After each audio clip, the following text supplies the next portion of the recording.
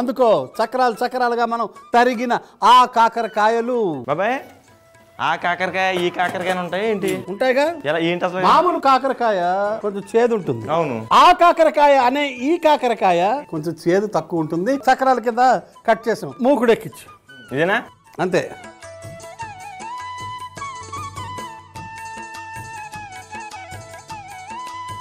వేపుడు కాబట్టి కొంచెం ధారాళంగా నూనె వేయాలి మనము. ఒక ఆరు నుంచి ఏడు గరిటెలు. ఇది నీదేనా? ఎవరన్నా ఇమిటేట్ చేస్తున్నావు? వేసుకో. నాకు అర్థం కావట్లేదు.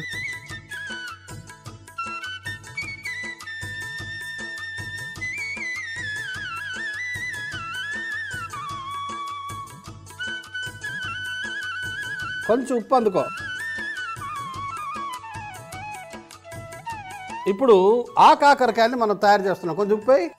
అలా ఉప్పు జల్లేవు. ఇంకానా? అంతే చాలు. మనం ఇప్పుడు ఉప్పు తర్వాత పసుపు చల్లుతున్నాం పసుపు అయిపోయింది. కారం పొడి.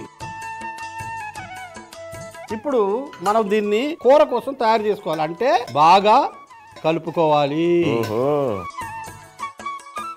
ఇప్పుడు ఆ నూనె వేడెక్కిన తర్వాత మిగతా ప్రాసెస్ మొదలవుతుంది. ఈ లోపల ఇది బాగా కలుపు కలుపుకోవాలి. ఆ కాకరకాయకి ఈ ఉప్పు ఈ పసుపు ఈ కారం ఈ లోపల బాగా పట్టుకుంటుంది. ఆ కాకరకాయకి ఎలాగో తడి ఉంటుంది కదా ఇది వెంటనే దానికి పట్టేసుకుంటుంది. ఓకే? నూనె వేడెక్కిపోయింది పొగలు కక్కుతోంది. ఆవాలు నేను వేస్తాను మిగతావు నువ్వు కలుపు! మెల్లగా మెల్లగా తొందర ఏం లేదు ఏం కాదు.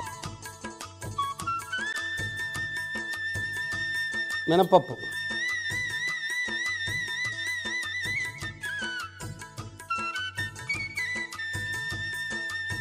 శనగపప్పు.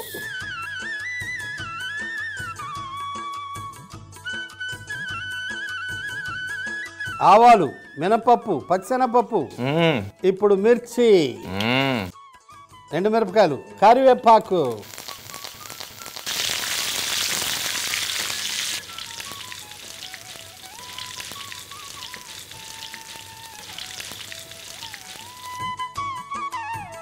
పసుపు. మిరప్పొడి కలిపిన ఉప్పు కలిపిన. చక్రాలు చక్రాలుగా తరిగిన ఆ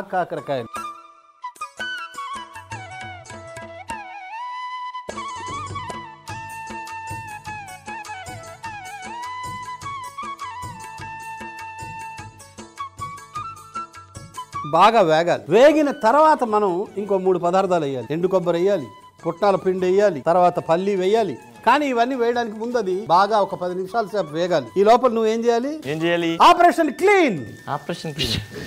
పది నిమిషాలు అయిందా? అయింది కదా? టీ మూత. సూపర్. మగ్గిపోయింది. నగ్గింది పుట్నాల పప్పు పొడి వేసేయి. పుట్నాల పప్పు ఇది తర్వాత ఎండు కొబ్బరి సగం వేయి. ఎండు కొబ్బరి సగం నా కోసం దాచిపెట్టు. వేయించిన పల్లీలు సగం వేయి. ఇది ఎందుకు సగం? అన్నీ చెప్పేస్తావు నా ముందే. కొంచెం కొత్తిమీర.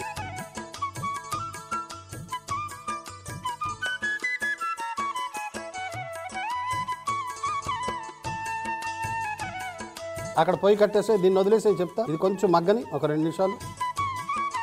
ఆ గిన్నె తీసుకో. పొయ్యి కట్టేసాను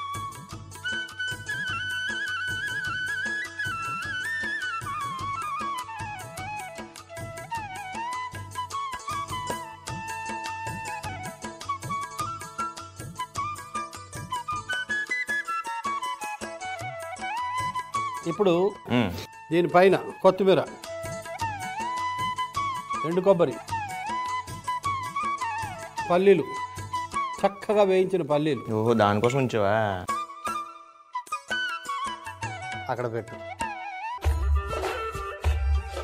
ఒక బేసిన్లో చక్రాలుగా కట్ చేసిన ఆ కాకరకాయ ముక్కలు ఉప్పు పసుపు కారం వేసి కలుపుకుని పక్కన పెట్టుకోవాలి. తరువాత మూకుల్లో నూనె వేసి వేడెక్కాక ఆవాలు మినపప్పు పచ్చి శనగపప్పు ఎండుమిరపకాయలు కరివేపాకు ముందుగా కలిపి పెట్టుకున్న ఆ కాకరకాయ ముక్కలు కూడా వేసి పది నిమిషాలు బాగా వేయించుకుని అందులోనే పుట్నాల పొడి ఎండు కొబ్బరి వేయించిన పల్లీలు కొత్తిమీర వేసి కలుపుకుని ఒక గిన్నెలోకి తీసుకుని పైన కొత్తిమీర ఎండు కొబ్బరి వేయించిన పల్లీలు వేసుకుంటే ఆ కాకరకాయ చక్రాలు వేపుడు రెడీ.